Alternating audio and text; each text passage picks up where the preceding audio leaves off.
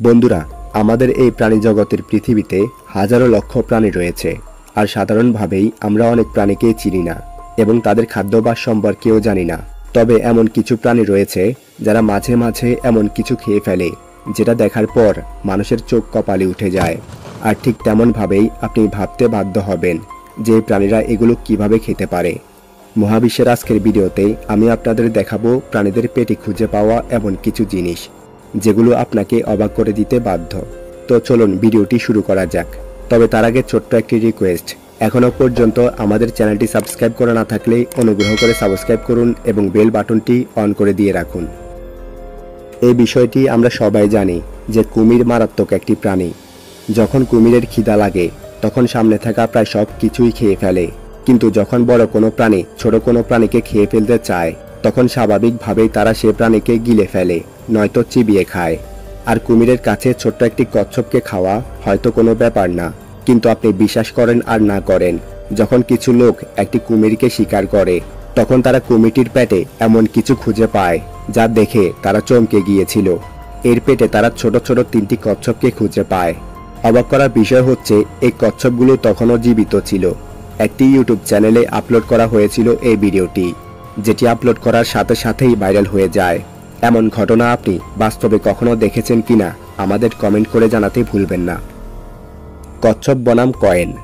বন্ধুরা, থাইল্যান্ডের মানুষেরা মনে করে, কচ্ছপের উপর কয়েন ফেলে রাখলে নাকি তাদের শুভ হয়, আর এটি করার ফলে তাদের আয়ুকাল নাকি বেড়ে যায়। কারণ হিসেবে তারা বলছে, কচ্ছপের আয়ুকাল নাকি বেশি।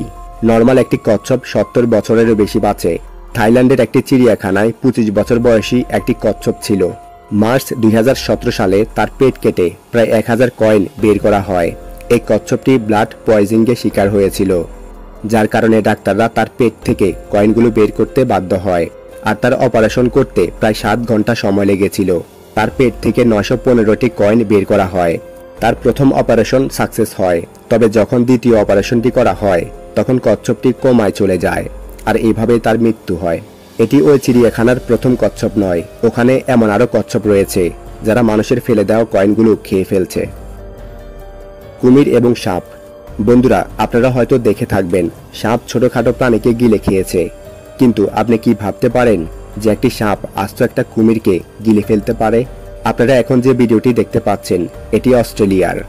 যেখানে সাপটিকে দেখে মনে হচ্ছে এটি অনেকদিন ধরে ক্ষুধার্ত রয়েছে। যার কারণে তার সামনে একটি কুমির পড়ায় তাকে আক্রমণ করে দেয় এবং আস্তে আস্তে গিলতে থাকে আর একসময় আস্ত কুমির তার পেটে চলে যায়। শার্ক, বনাম শার্ক, আমরা যদি শার্কের কথা বলি, তবে তাদের খাদ্য হিসেবে আমরা ভেবে থাকব সমুদ্রে থাকা ছোট ছোট প্রাণী এবং মাঝারি সাইজের মাছ। তবে আমি যদি বলি, একটা শার্ক অন্য আরেকটি শার্ককে গিলে ফেলতে পারে, তাহলে আপনার কাছে কি সেটি বিশ্বাসযোগ্য মনে হবে? তবে আপনার বিশ্বাস হোক আর না হোক, এটাই সত্য ঘটনা। কোরিয়ার সমুদ্রে বড় একটি শার্ক, ছোট একটি শার্ককে গিলে ফেলার চেষ্টা করে। যারা ভিডিওটি ধারণ করেছিল, তারা বলে, যখন বড় শার্কটি ছোট শার্কটিকে গিলে ফেলে, তখন তার লেজ বড় শার্কটির মুখে আটকে ছিল প্রায় আট ঘণ্টা। এটাকে হজম করতে তার প্রায় পাঁচ থেকে ছয় দিনের মতো সময় লেগেছিল। বন্ধুরা, সাপ হচ্ছে এমন এক ধরনের প্রাণী, যে কিনা কম বেশি সব কিছুই খেয়ে ফেলতে পারে। আর সাপের যদি খিদা লাগে, তবে সামনে যেটাই থাকুক না কেন, তা সে গিলে ফেলার চেষ্টা করে। তবে আপনি বিশ্বাস করবেন কিনা জানি না, সাপ চাদর কিংবা কম্বল পর্যন্ত গিলে ফেলতে পারে। এটা শুনে আপনি হয়তো অবাক হতে পারেন, তবে এই ঘটনাটি সম্পূর্ণ সত্য। বারো ফিট লম্বা একটি পাইথন সাপ আস্ত একটি কম্বল গিলে ফেলেছিল।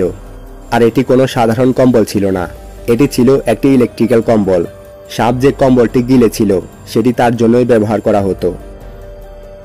এবার এই ভিডিওটি দেখুন, যেখানে কয়েকজন জেলে সমুদ্রের তীরবর্তী এলাকায় বিশাল একটি মাছকে ধরে।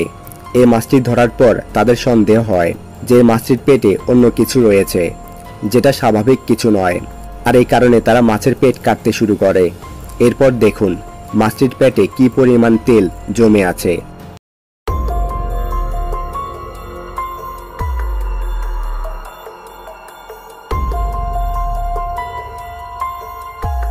এর চেয়ে অবাক করা বিষয় হলো, যখন তার পাকস্থলী কাটা হয়, তখন তার ভিতর থেকে দেখুন কতগুলো মাছ বেরিয়ে আসছে। বিশাল আকারের মাছটি খিদার জ্বালায় এতগুলো মাছকে খেয়ে ফেলেছিল, যার কারণে সে এগুলো হজম করতে পারেনি, তাই সে মারা গিয়েছে। তো বন্ধুরা, ভিডিওটি আপনাদের কেমন লাগল অবশ্যই কমেন্ট করে জানাবেন, এবং একটি লাইক করে বন্ধুদের সাথে শেয়ার করতে ভুলবেন না।